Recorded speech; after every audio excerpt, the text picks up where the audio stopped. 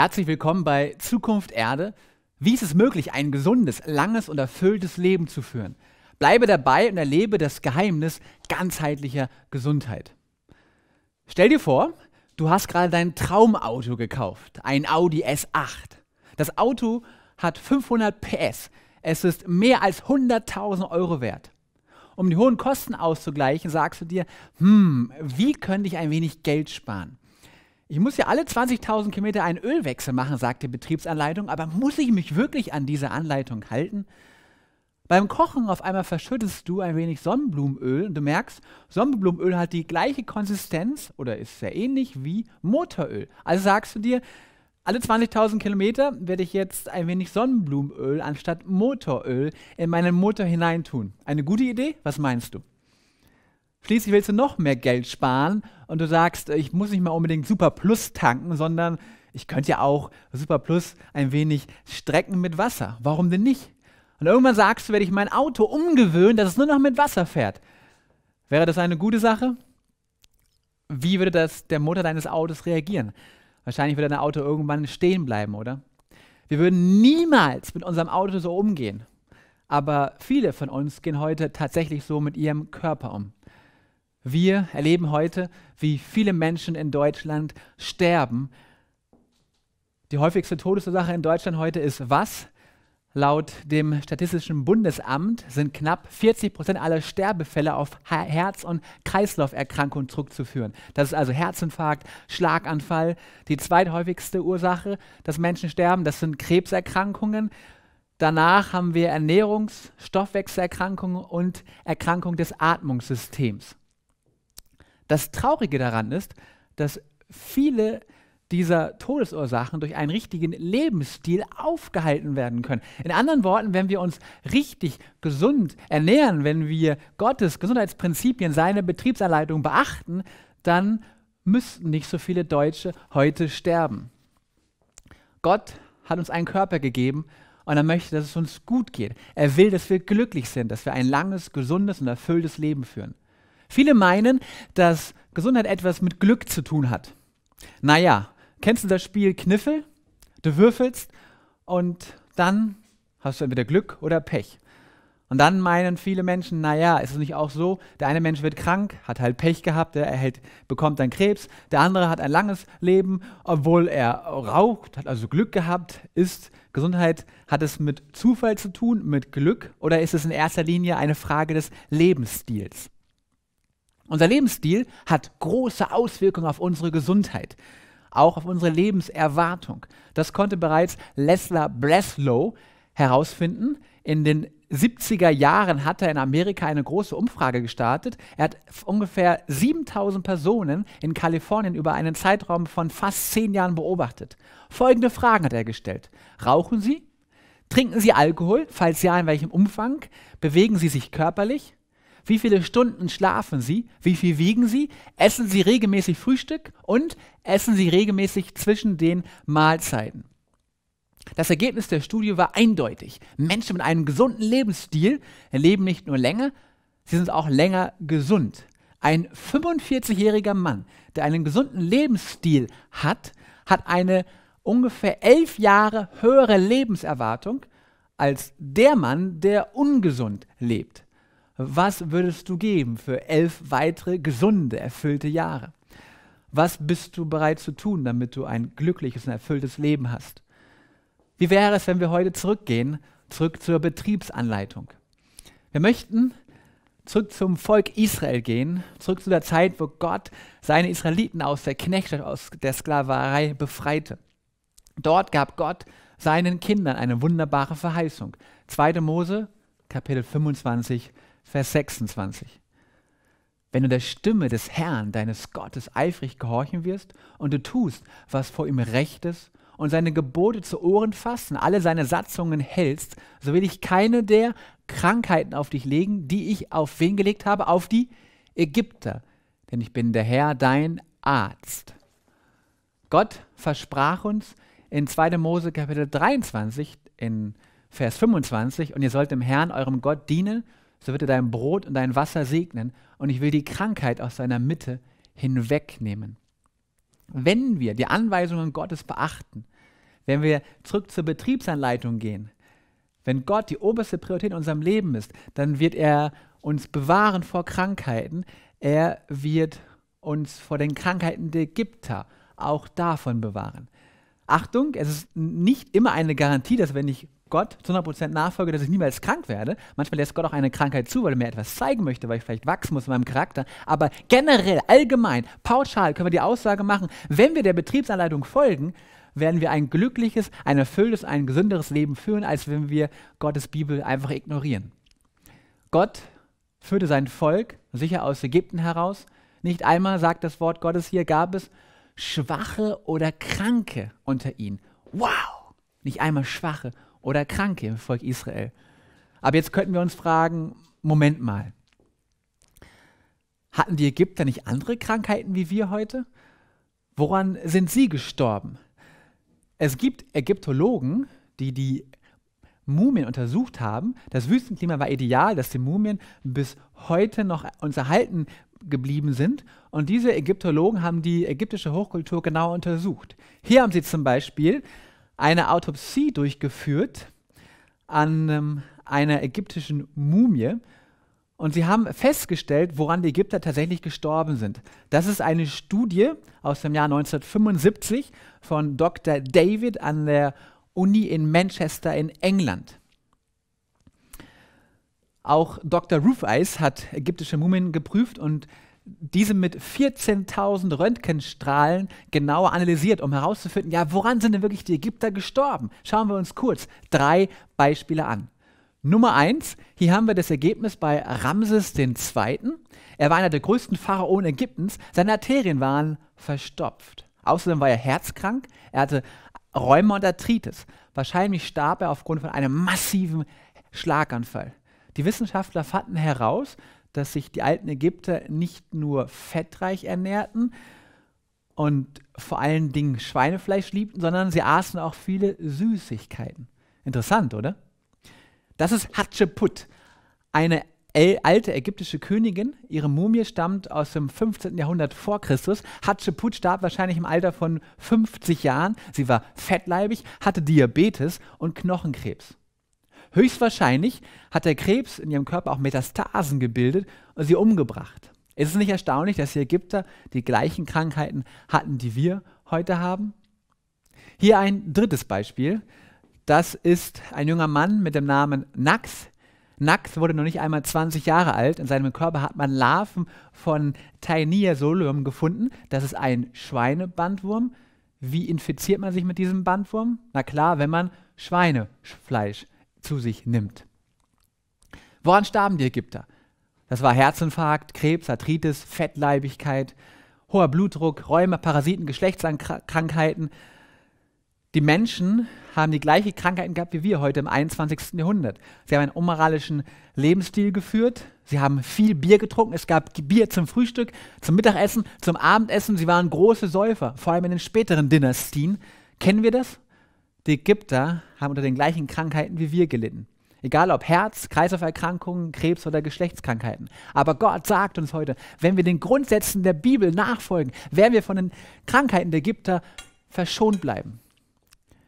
Wie ist es mit dir? Ich möchte gerne ein gesundes, glückliches und langes Leben führen. Ich frage mich, was würde heute passieren, wenn wir den Anweisungen der Bibel folgen würden? Wie würde unsere Gesellschaft heute aussehen? Wie länger würden wir leben? Ach, viele Menschen schauen halt zurück und sagen, diese Gesundheitsgebote, die Gott gegeben hat, die galten für die ersten Menschen, für, de, für das Volk der Juden. Aber Moment mal, Gott hat uns erschaffen und die Gesundheitsprinzipien, die sind wie die zehn Gebote ewig gültig.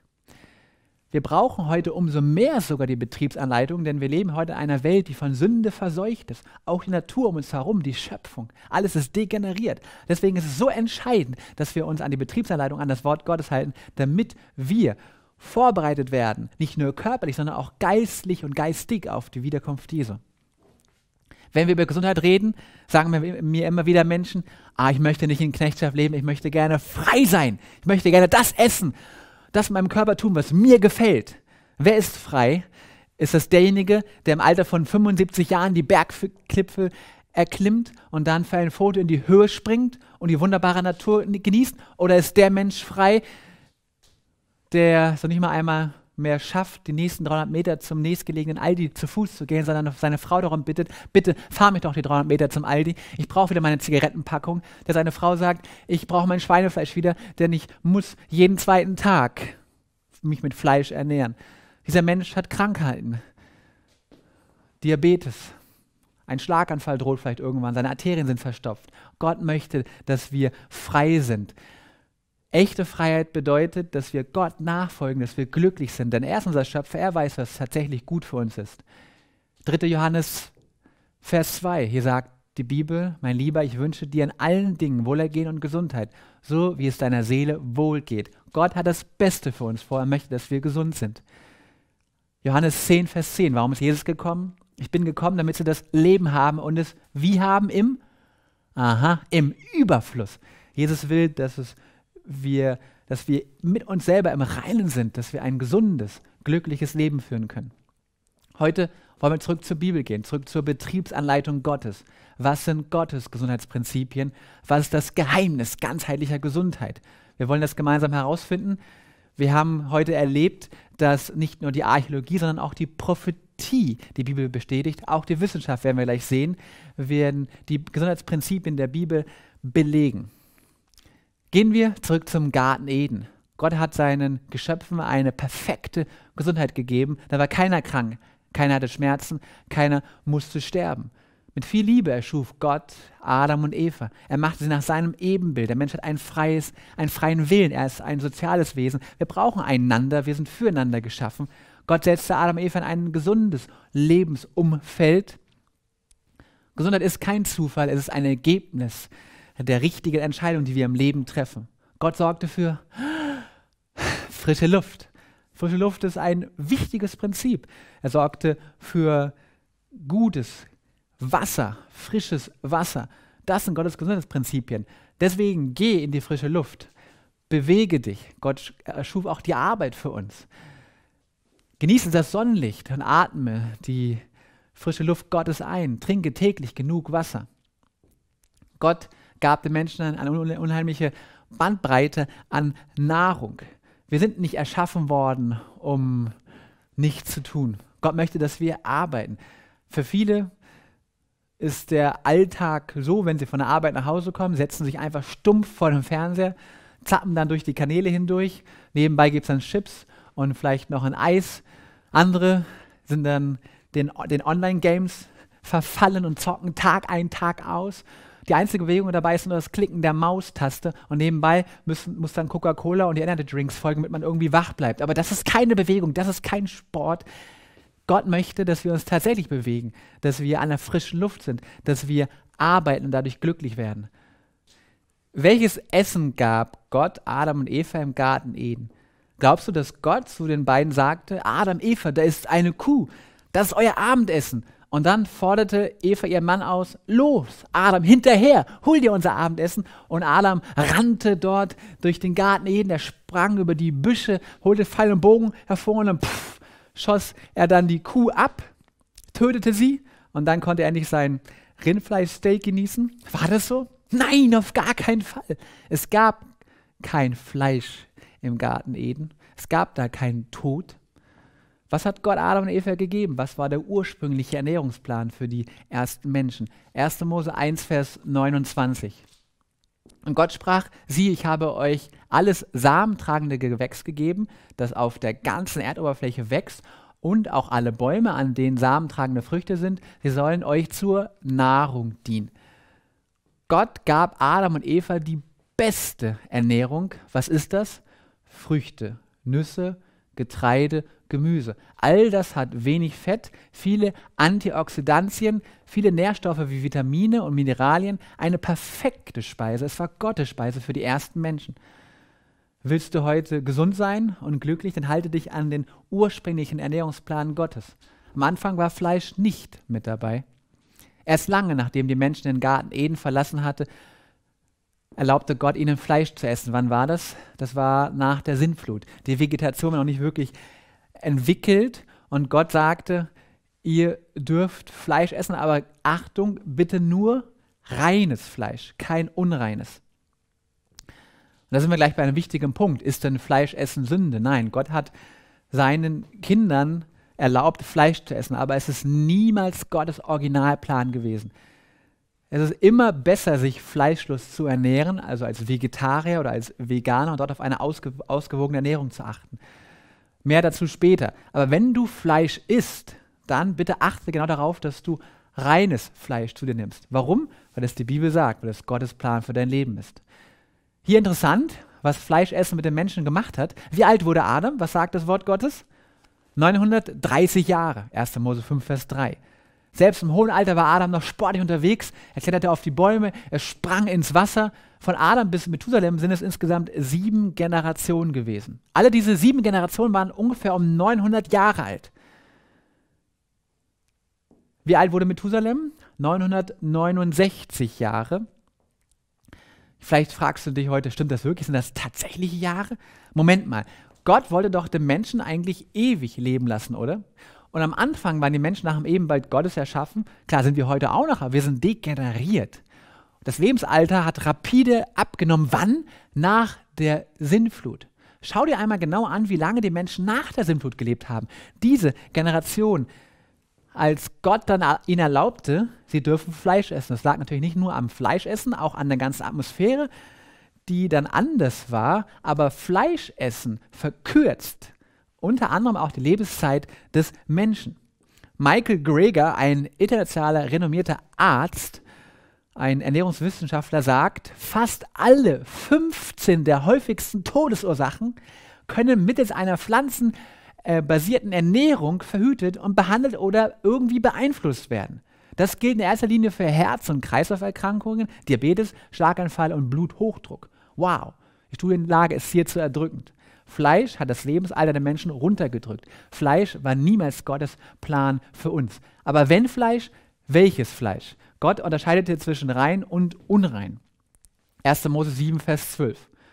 Und der Herr sprach zu Noah, Geh in die Arche, du und dein ganzes Haus, denn dich allein habe ich vor mich gerecht erfunden unter diesem Geschlecht.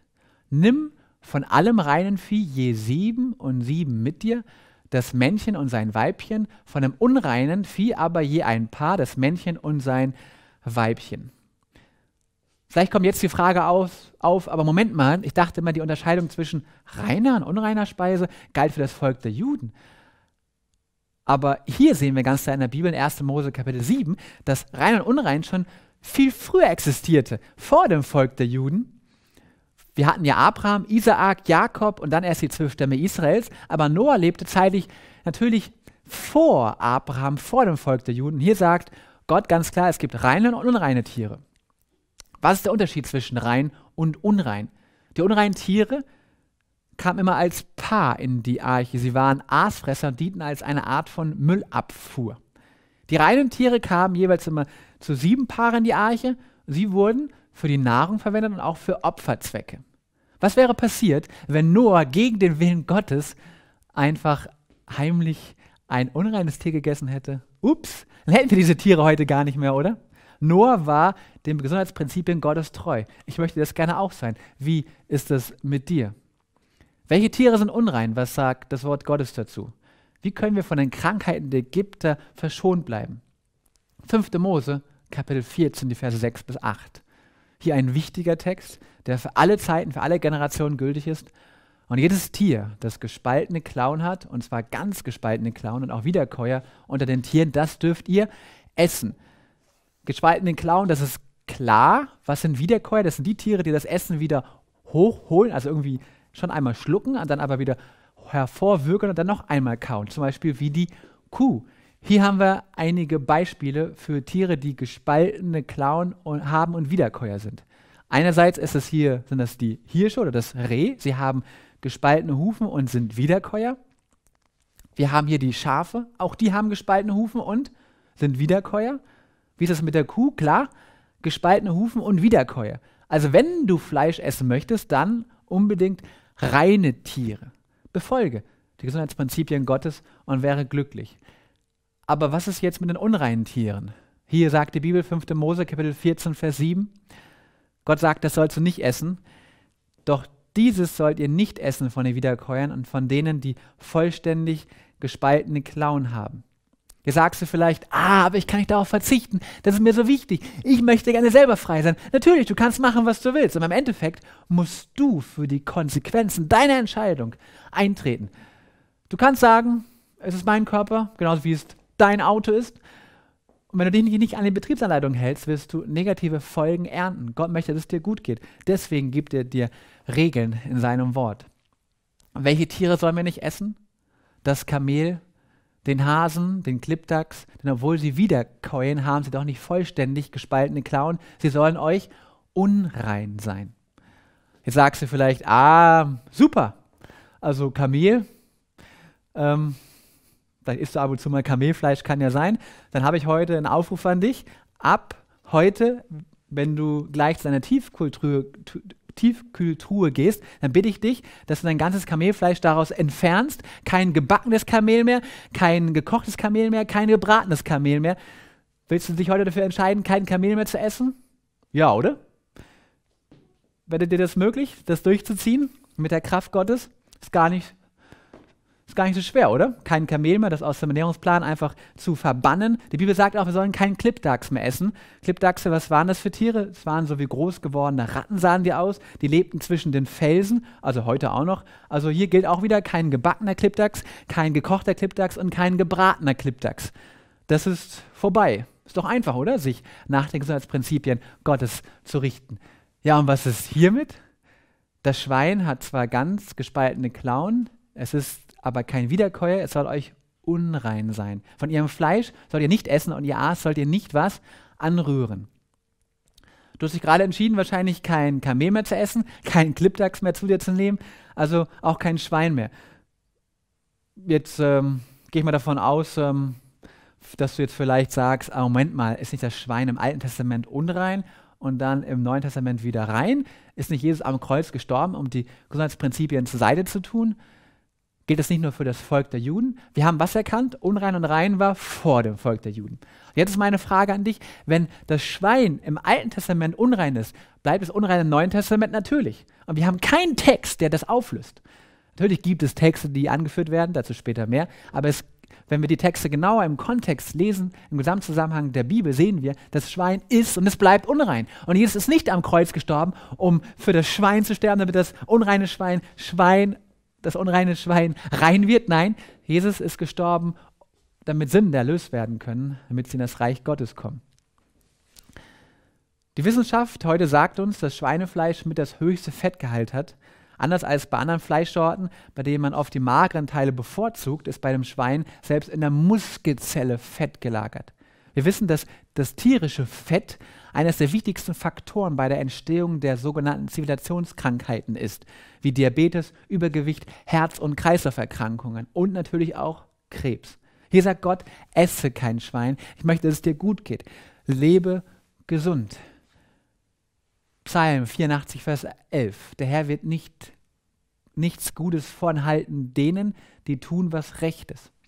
In anderen Worten, wenn Schweinefleisch für dich gut wäre, würde Gott es dir nicht vorenthalten. Aber er liebt dich. Er möchte, dass es dir gut geht.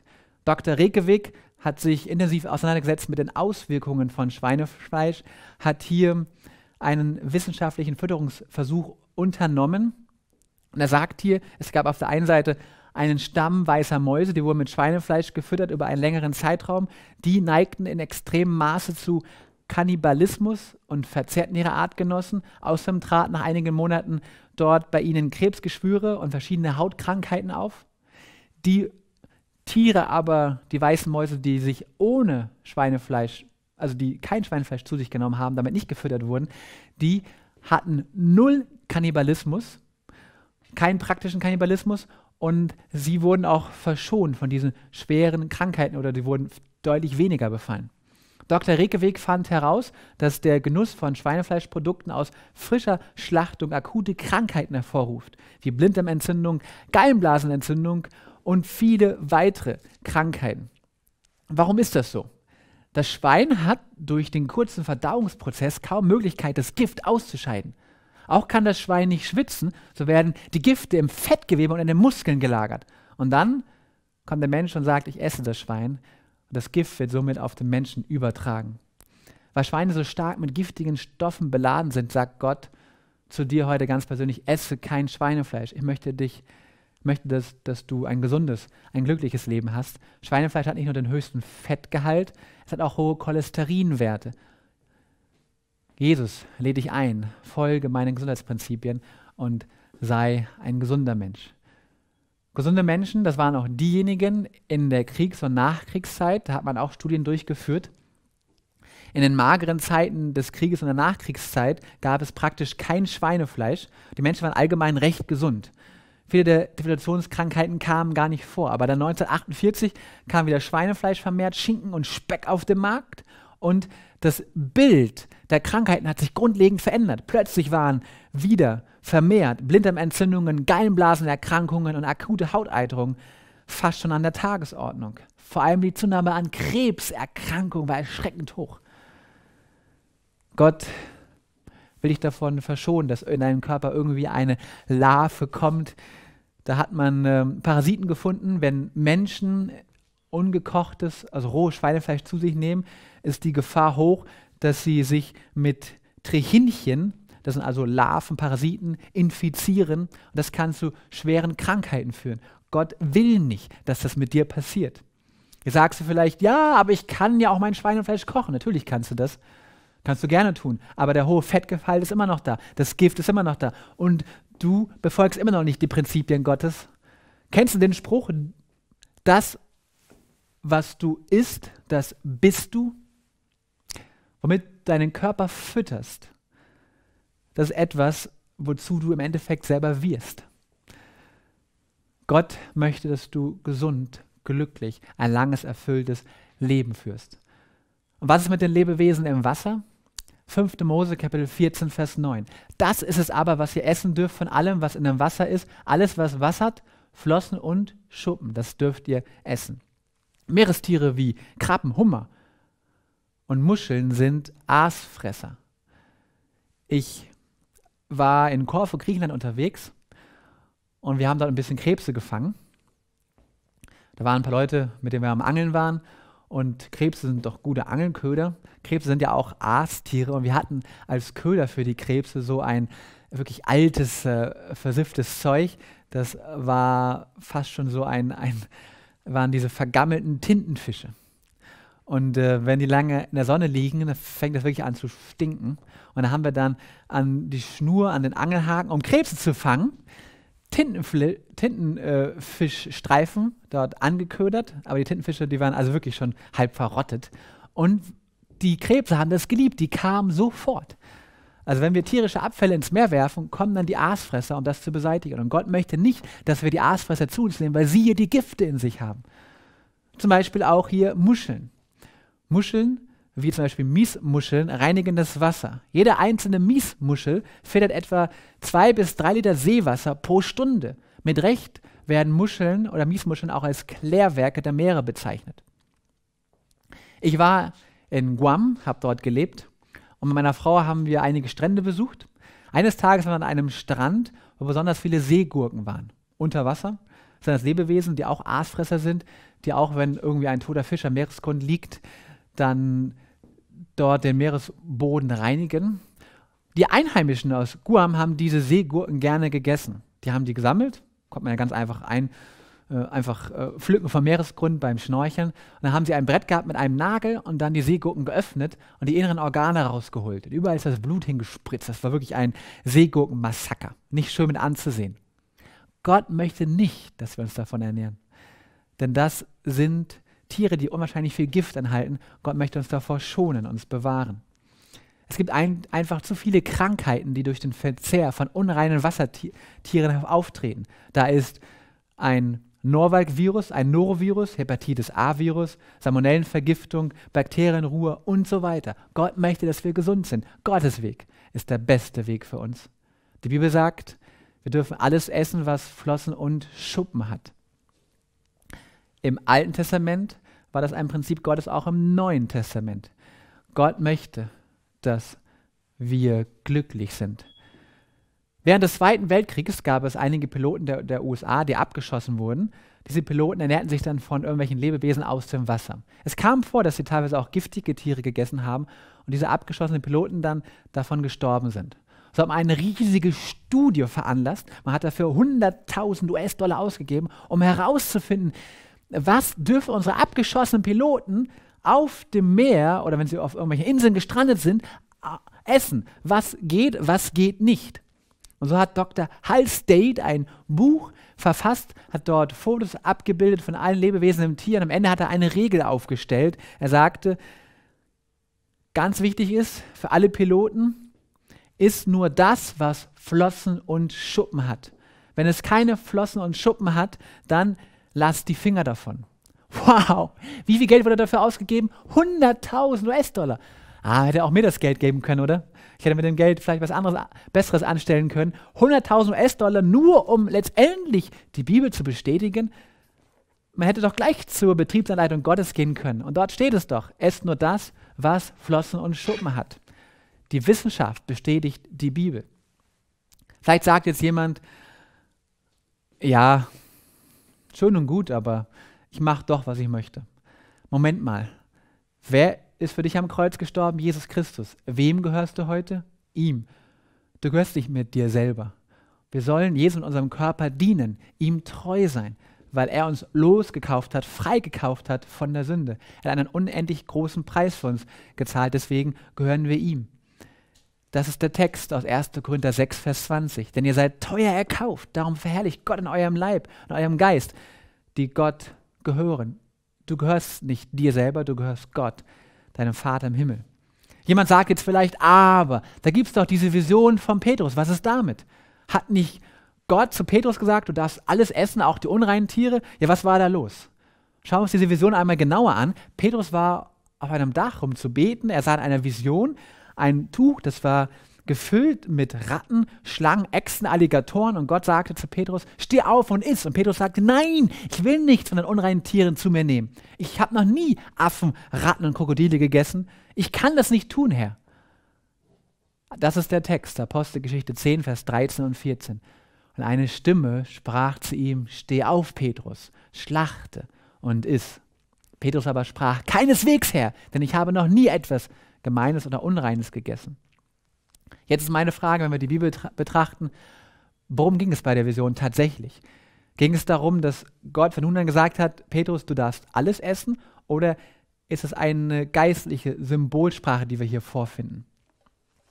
Wichtig ist, dass wir die Bibel heute zu uns sprechen lassen und nicht das, was vielleicht die großen Kirchen sagen oder dein Pastor dir verkündigt, Achtung, prüfe alles mit dem Wort Gottes. Heute, wenn wir die Bibel selber gerne befragen, ja, was meint denn Gott mit der Vision? Dürfen wir heute alles essen? Da waren ja zwei Männer, die direkt nach der Vision zu dem Petrus kamen und ihm sagten, ähm, das sind Heiden, die wollen das Wort Gottes hören. Komm mit. Für Petrus war ein Jude, ein Nachfolger Jesu, aber ein Heide, der war eigentlich, naja, mehr oder weniger abgefallen. Die Juden sollten mit den Heiden keinen Kontakt haben. Und für Petrus waren die Heiden eigentlich unreine Menschen und er wollte keinen Kontakt mit ihnen haben. Aber jetzt forderte Gott Petrus durch die Vision auf, Petrus, alle Menschen solltest du gleich ansehen. Es gibt nicht reine und unreine Menschen. Ich bin für alle Menschen gestorben, Petrus. Schau mal, Petrus, für dich sind die Heiden wie unreine Speisen. Für dich sind sie wie die Heiden wie Ratten, Schlangen und Krokodile. Später erklärt Petrus die Vision hier in der Bibel. Er sagt, doch mir hat Gott gezeigt, dass, es, dass ich keinen Menschen gemein oder unrein nennen soll. Im Endeffekt ging es Gott darum, er soll keine Menschen als unrein ansehen. Vor Gott sind wir alle gleich. Nun erfahre ich in Wahrheit, dass Gott die Person nicht ansieht, sondern dass in jedem Volk derjenige ihm angenehm ist, der ihn fürchtet und Gerechtigkeit übt. Vor Gott sind wir alle gleich. Der Teufel hat einen Plan, er verdreht das Wort Gottes, er gibt uns ihr Lehren. Er ist ein Lügner, ein Mörder. Er möchte gerne, dass du krank bist, dass du leidest, dass du Schmerzen hast, dass du für alle Ewigkeiten von Gott getrennt bist. Das ist Satans Plan. Aber Gott sagt, ich habe einen besseren Weg für dich. Hier findest du die Wahrheit. Hier findest du meine Liebe. Hier findest du meinen Plan. Es geht hier nicht darum, dass wir durch Werke erlöst werden. Nein, es geht darum, wenn wir Jesus lieben, dann wollen wir gerne das tun, was er möchte, weil wir dadurch ihn am meisten ehren können und selber auch am glücklichsten werden. Lesen wir nochmal 3. Johannes Vers 2. Mein Lieber, ich wünsche dir in allen Dingen Wohlergehen und Gesundheit, so wie es deiner Seele wohl geht. Gott wünscht sich eine perfekte, vollkommene Gesundheit für uns. Und er weiß, da gibt es eine Verbindung zwischen unserer Gesundheit und unserem Verstand. Letztendlich zwischen unserer Gesundheit und der Beziehung zu Jesus. Denn wie lese ich das Wort Gottes? Ich brauche dafür meinen Verstand. Wie bete ich? Wie rede ich mit Jesus? Ich brauche da auch meine Vernunft für. Ich merke das sofort in meinem Leben, dass es eine Beziehung gibt zwischen Gesundheit und der Beziehung, letztendlich der Verbindung zu Gott. Wenn ich zu wenig nachts schlafe, vier oder fünf Stunden, fällt es mir schwer, das Wort Gottes zu öffnen, mit ihm zu reden. Und Gott möchte, dass wir gesund sind. Gott will, dass, wenn wir gesund sind, zu ihm eine tiefe Beziehung haben können. Natürlich kann eine Krankheit mich auch näher zu Gott führen, aber im Endeffekt ist das nicht Gottes Wille. Römer 12, Vers 1. Gott fordert uns auf, dass wir unseren Leib darbringen als ein lebendiges, heiliges, Gott wohlgefälliges Opfer. Hier steht nicht, wir sollen ein totes Opfer sein. Nein, ein lebendiges Opfer. Das ist ein vernünftiger Gottesdienst. Vielleicht sagst du heute, Gott, ich möchte dir mit meinem Körper dienen. Gott, ich möchte die Dinge, die in meinem Leben meine Gesundheit zerstören, verbannen für immer. Vielleicht ist es das Rauchen, der Alkohol, illegale Drogen, eine Abhängigkeit von Medikamenten, vielleicht auch unreine Speisen, sexuelle Sünden, eine Abhängigkeit von Medikamenten, was auch immer es ist in deinem Leben. Du kannst heute zu Jesus kommen und ihm sagen, Herr, bitte, ich möchte diese eine Sache geben. Reiß sie aus mich heraus. Ich möchte gerne lebendig, heilig dir dienen. Jesus kann es tun, aus eigener Kraft schaffst du es niemals. In seinem Wort steht, ich vermag alles durch den, der mich mächtig macht. Jesus kann dich befreien. Vielleicht kämpfst du heute mit dem Rauchen. Gott hat uns die reine frische Luft gegeben. Satan hat uns die Fälschung gegeben, das Rauchen. Gott hat dich nicht in Abhängigkeit gebracht. Das war Satan. Weltweit sterben jährlich sieben Millionen Menschen an den Folgen des Rauchens. Die Kosten für die Gesundheitssysteme gehen in die Milliarden. In Deutschland stirbt, stirbt jeder Siebte am Rauchen. Gott möchte uns ein erfülltes und gesundes Leben geben. Tabakrauch enthält 250 giftige Substanzen, davon sind 90 ungefähr krebserregend. Vielleicht sagst du heute, ich bin doch schon so viele Jahre, Jahrzehnte abhängig, was soll ich tun? Die Gnade ist größer als die Sünde, Jesus kann dich befreien. Bei Rauchern unter 50 Jahren ist das Herzrisiko fast neunmal höher als bei gleichaltrigen Nichtrauchern. Das haben Forscher herausgefunden. Rauchen ist die Hauptursache für Lungenkrebs, ja, und dann erst die ganzen Babys von rauchenden Müttern, die haben es besonders schwer. Viele Studien zeigen uns, dass diese Kinder oft als Frühchen zur Welt kommen. Sie haben angeborene Herzfehler oder auch Wachstums- und Entwicklungsstörungen. Passiv rauchende Säuglinge und Kinder leiden oft auch besonders. Sie sind anfällig gegenüber einer Reihe von Erkrankungen, wie zum Beispiel Lungenentzündung oder Asthma. Gott ruft uns heute auf, dass wir diese gesundheitsschädlichen Stoffe in unserem Leben ganz rausstreichen. Rauchen aufhören bringt nur Vorteile, mein Freund. Jesus kann dich davon ganz frei machen. Vertraue ihm. Satan ist stark, die Sucht auch, aber Gott ist immer größer. Lesen wir Römer 5, Vers 20. Wo aber die Sünde mächtig geworden ist, da ist die Gnade noch viel mächtiger geworden. Einer meiner Kollegen, ein Pastor, hat mit einer Frau die Bibel studiert. Sie haben sie regelmäßig getroffen, miteinander geredet, gebetet. Die Frau wollte gerne ganz Jesus gehören, aber es gab eine Sache, die sie aus ihrem Leben nicht verbannen konnte. Das war das Rauchen. Sie war abhängig schon seit vielen Jahren vom Rauchen. Das gehörte zu ihr wie das täglich Brot. Und ich sagte zum Pastor, ich schaffe das nicht. Ich habe schon alles probiert. Ich komme davon nicht frei.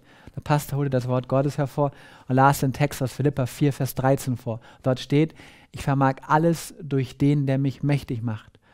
Die Frau sagte, ja, aber bei mir klappt das irgendwie nicht. Ich, ich schaffe das irgendwie nicht. Dann sagte der Pastor zu ihr, okay, gut, dann nimm bitte einen Stift und schreib den Bibeltext um. Schreib den neu.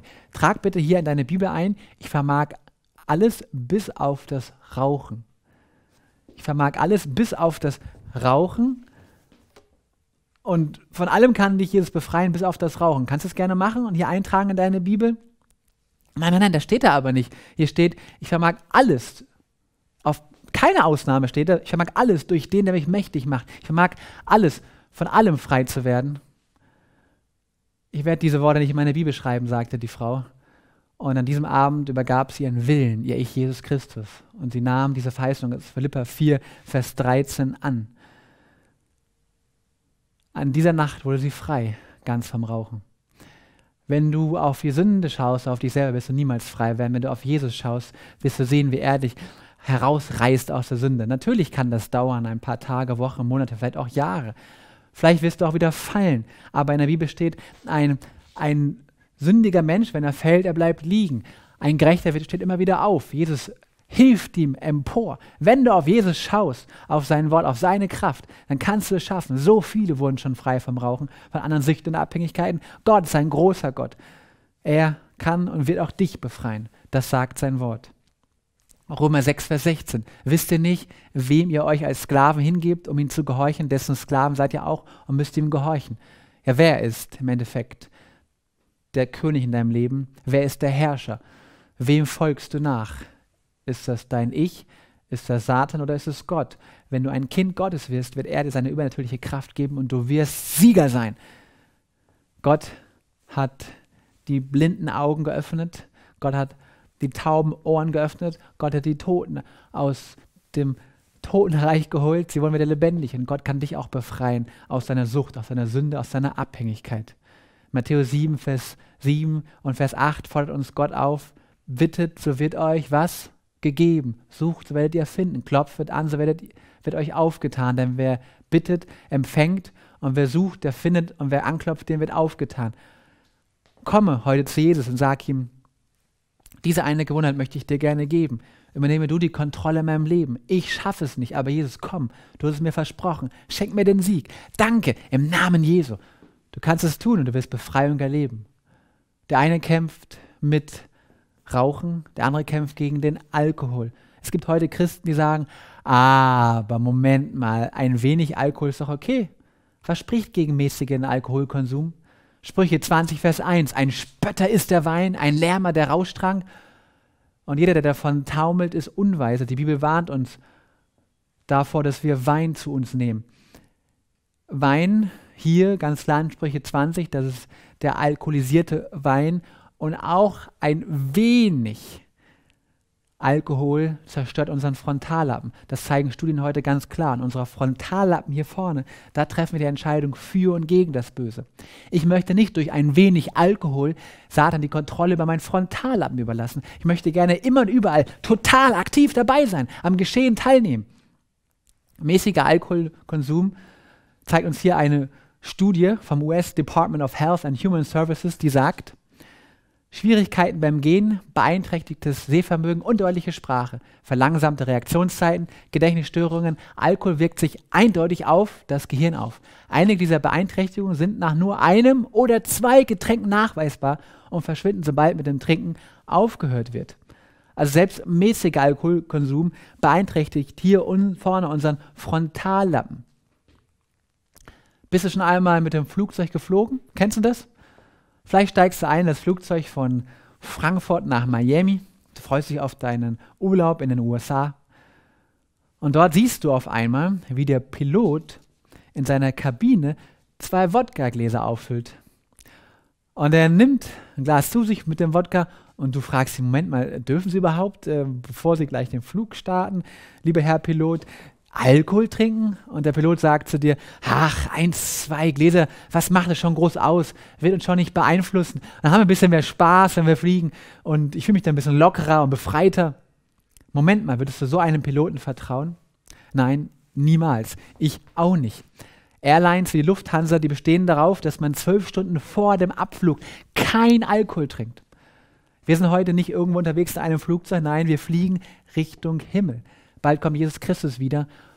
Wir haben die Kontrolle über unser Leben und Gott möchte, dass wir immer in der vollsten Kontrolle unseres Frontallappens sind, dass wir Gott immer aktiv gehorchen können.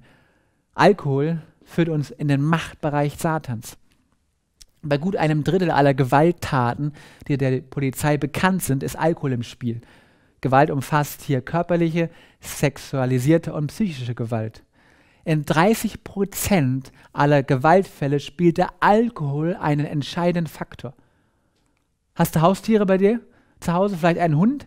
Was wäre, wenn dein Hund einen von drei Gästen beißen würde? Wirst du diesen Hund bei dir zu Hause rumlaufen lassen? Sicher nicht. Durch den Alkoholkonsum zerbrechen Ehen, Familien gehen kaputt, der Arbeitsplatz geht verloren.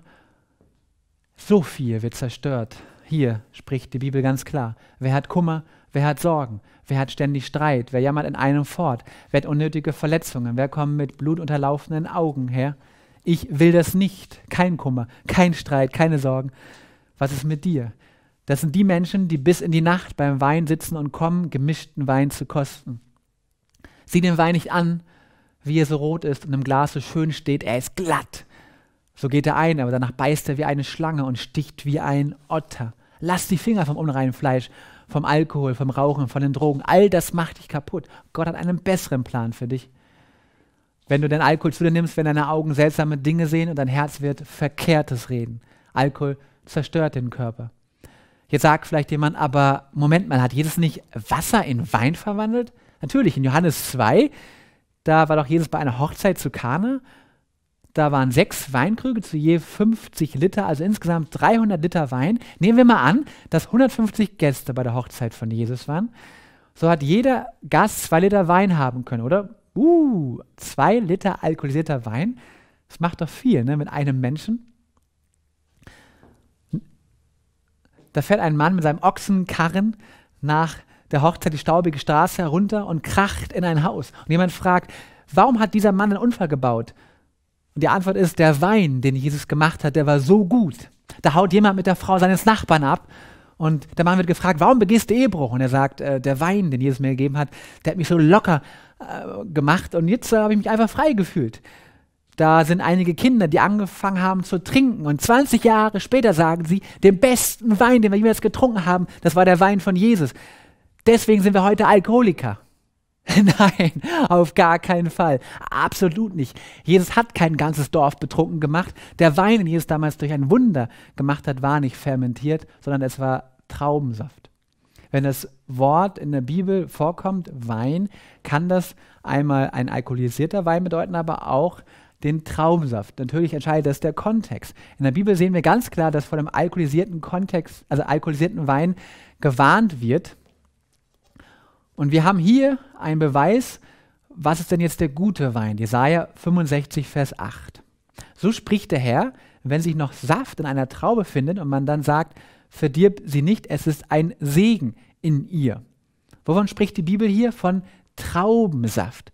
Im Englischen haben wir hier in der King's James Version New Wine. Das ist also der neue, frische Wein. Das ist der frisch gepresste Traubensaft. Der ist ein Segen und wirklich gesund. Aber Alkohol drin hat nichts verloren. Alkohol zerstört den Menschen. Welchen Wein hat Jesus gemacht? Es war natürlich Traubensaft. Du hast den, Achtung, jetzt kommt es, den guten Wein bis jetzt behalten. Der Wein, dem Segen ist, das ist Traubensaft. Jesus hat keinen fermentierten Wein erschaffen. Wein und Alkohol hat so viele negative Folgen. Abhängigkeit, Gewalt, Unfälle, Familien, die zerstört werden. Gott will, dass du gesund bist. Deswegen nimm kein Alkohol zu dir. Sein Plan für dein Leben ist, dass du geheiligt wirst. Dein ganzes Wesen, Geist, Seele und der Leib. All das soll unteilig bewahrt werden bis zur Wiederkunft Jesu, unseres Herrn Jesus Christus. Die letzte Botschaft, die an die ganze Welt geht, ist, fürchtet Gott und gebt ihm die Ehre. Denn die Stunde seines Gerichts ist gekommen. Fürchtet Gott. Ja, was heißt das? Was bedeutet das? Wie können wir Gott ehren? Gott zu ehren bedeutet in allen Dingen ihm treu zu sein, sein Willen zu tun. 1. Korinther 10, Vers 31. Ob ihr nun esst oder trinkt oder sonst etwas tut, tut alles zur Ehre Gottes. Jesus sagt, ich kann dich frei machen. Ich kann dich loslösen vom Tabak, vom Alkohol, von den unreinen Speisen, von der sexuellen Unmoral. Hier sind wichtige Prinzipien. Wie geht das? Ohne mich könnt ihr wie viel tun? Nichts. Du kannst probieren, versuchen und dich zusammenreißen, du wirst es niemals schaffen ohne die Kraft Gottes. Vielleicht sagst du, ich habe versucht, meine sexuelle Unmoral irgendwie in Grenzen zu halten. Ich habe versucht, mit dem Trinken aufzugeben. Ich habe versucht, unreine Speisen über Bord zu werfen. Aber die Bibel sagt hier, ohne mich könnt ihr nichts tun. Der Text geht weiter. Ich vermag aber alles durch den, der mich stark macht, Jesus Christus. Ohne Jesus können wir nichts machen. Mit Jesus können wir alles tun. Wenn Jesus Christus Besessene von Dämonen befreit, wenn er die Augen der Blinden berührt und sie wieder sehen können, wenn Jesus Tote wieder auferweckt, kann er dann auch dich befreien von den sündigen Gewohnheiten in deinem Leben? Natürlich. Er kann und er wird es tun. Hier ist Fritz Dengel. Fritz ist ein äh, Freund von mir, ein lieber Christ aus Heidenheim. Und das ist seine Geschichte. Es war im Sommer 2009, da wurde Fritz von einem Bekannten zum Pizzaessen eingeladen. Dieser Abend sollte schwerwiegende Folgen haben. Er und sein Freund, sie aßen zusammen, lachten.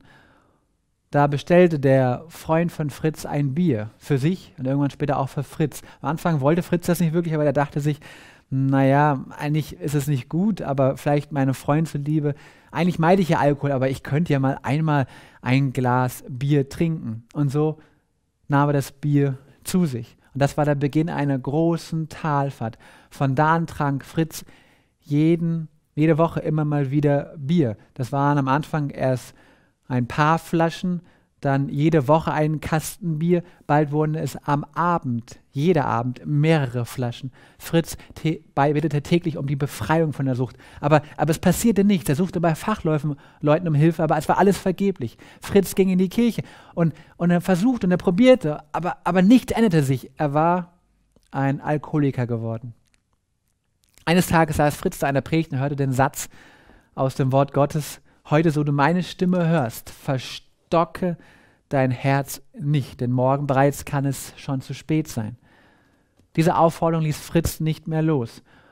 Und das war vier Jahre später, nachdem er mit dem Alkohol angefangen hatte, da kam Fritz zu Jesus und er sagte, Jesus, ich möchte dir heute mein ganzes Leben geben. Ich habe immer nur versucht, die eine Sache aus meinem Leben zu verbannen, den Alkohol, aber ich möchte und ich glaube, du willst, dass ich dir mein alles gebe, mein komplettes Leben, mein ganzes Ich, nicht nur den Alkohol, nicht nur den Kampf gegen das Bier. Und so an diesem Abend kniete er sich nieder und er sagte, Jesus, befreie mich nicht nur vom Alkohol, sondern auch von allen anderen Sünden, von meinen egoistischen, bösen Plänen. Ich will gerne, dass du, der, du auf dem Thron meines Lebens sitzt. Fritz machte das und an diesem Abend, das war vier Jahre seit Beginn der Alkoholsucht, kam Jesus tatsächlich zu 100 Prozent in sein Leben, weil Fritz Jesus die Tür ganz aufmachte. Er wurde von diesem Tag an komplett von der Sucht erfüllt. Gott macht ihn frei. Wenn Gott Fritz frei machen kann, kann er auch dann dich frei machen? Ist das möglich? Jesus hat mich in meinem Leben auch von die vielen Dingen befreit.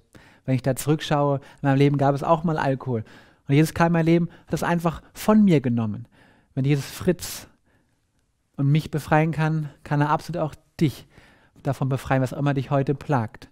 Mein lieber Freund, willst du heute dein Herz für Jesus öffnen?